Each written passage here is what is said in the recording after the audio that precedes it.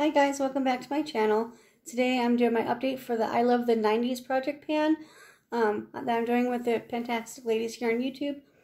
All the information will be linked down below in the description box. So, um, I finished one and I have progress on another. So I'll show you what I have progress on. Let's see. It's for the prompt, was a, a product that is part of your morning routine and I had the Wander Beauty uh, gold eye masks. I wanted to complete the whole box set, I think of five.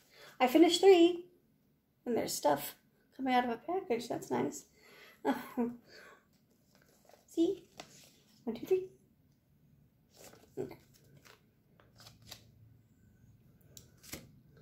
I have like two more left. I think it's a thing of three, or no, or five, or maybe it's six. I don't know.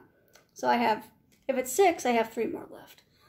Anyway, it's not done. So, um, and the uh, thing that I did finish was for the prompt, the Titanic, and you flipped a coin. If it was tails, it was a drugstore product. If it was high, if it was heads, it was high end. And I picked, I got the prompt high end, so I picked this Caswell-Massey Century Sandalwood uh, mini that my friend Lori sent me because the perfume, the big bottle is like $60, so that was pretty nice. So that is finished. And what I'm rolling in is the It's a 10 Miracle Leave-In product, and that's for the prompt, the Macarena, and that, that is for a Latina-owned owned brand and it's a 10 is a Latina owned brand, so yeah. So I'm rolling that in. So quick little update. So that is it.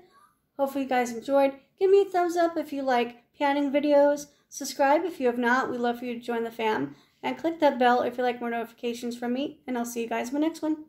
Bye guys.